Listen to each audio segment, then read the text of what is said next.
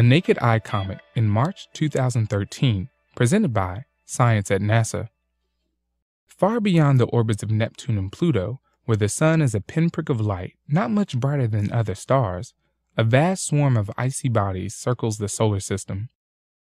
Astronomers call it the Oort cloud, and it is the source of some of history's finest comets. One of them is heading our way now.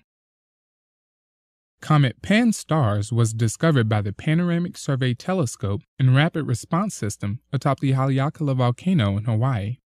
Astronomers used the massive 1.8 meter telescope to scan the heavens for Earth approaching objects, both asteroids and comets, that might pose a danger to our planet. In June 2011, a comet appeared, and it was named Pan-STARRS after the acronym for the telescope. In early March, the comet will pass about 100 million miles from Earth as it briefly dips inside the orbit of Mercury.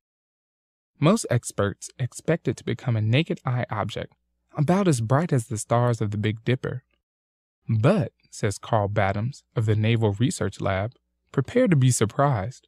A new comet from the Oort cloud is always an unknown quantity, equally capable of spectacular displays or dismal failures. The Oort cloud is named after 20th century Dutch astronomer Jan Oort, who argued that such a cloud must exist to account for all the fresh comets that fall through the inner solar system. Unaltered by warmth and sunlight, the distant comets of the Oort cloud are like time capsules, harboring frozen gases and primitive, dusty material drawn from the original solar nebula 4.5 billion years ago. Gravitational disturbances occasionally eject comets from the Oort cloud, which fall toward the sun, bringing their virgin ices with them. Because this is Comet Pan-STARRS' first visit, it has never been tested by the fierce heat and gravitational pull of the sun. Almost anything could happen, says Battams. On one hand, the comet could fall apart, a fizzling disappointment. On the other hand, fresh veins of frozen material could open up to spew garish jets of gas and dust into the night sky. Because of its small distance from the sun, Pan-STARRS should be very active, producing a lot of dust and therefore a nice dust tail, predicts Matthew Knight of the Lowell Observatory. However, he cautions, it could still be difficult to see. From our point of view on Earth, the comet will be very close to the Sun. This means that it is only observable in twilight, when the sky is not fully dark. The best dates to look may be March 12th and 13th, when Pan-STARRS emerges in the western sunset sky, not far from the crescent moon. A comet and the moon, together framed by the twilight blue, is a rare sight.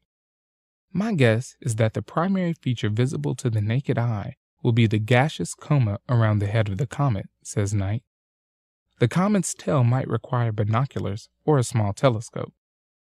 Two other key dates are March 5th, when the comet comes closest to Earth, about 100 million miles away, and March 10th, when the comet comes closest to the Sun.